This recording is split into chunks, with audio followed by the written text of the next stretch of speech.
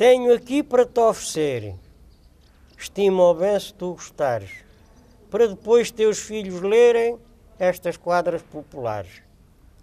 Isto é uma recordação que te deixo ao teu avô, para tu saberes que eu sou teu amigo até mais não. Faço tanta estimação, acredita, podes crer, que todos gostam de ler esta minha poesia e para os teus filhos lerem um dia, tenho aqui para te oferecer.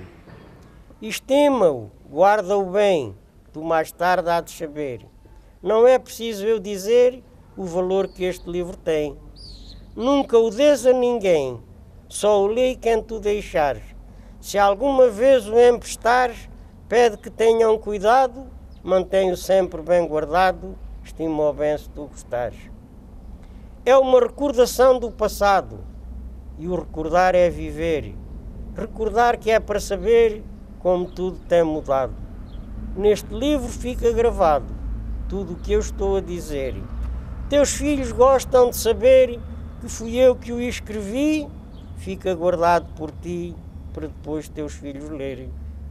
Também gostava de ter gravada a voz do meu avô, nessas noites que passou a cantar à desgarrada.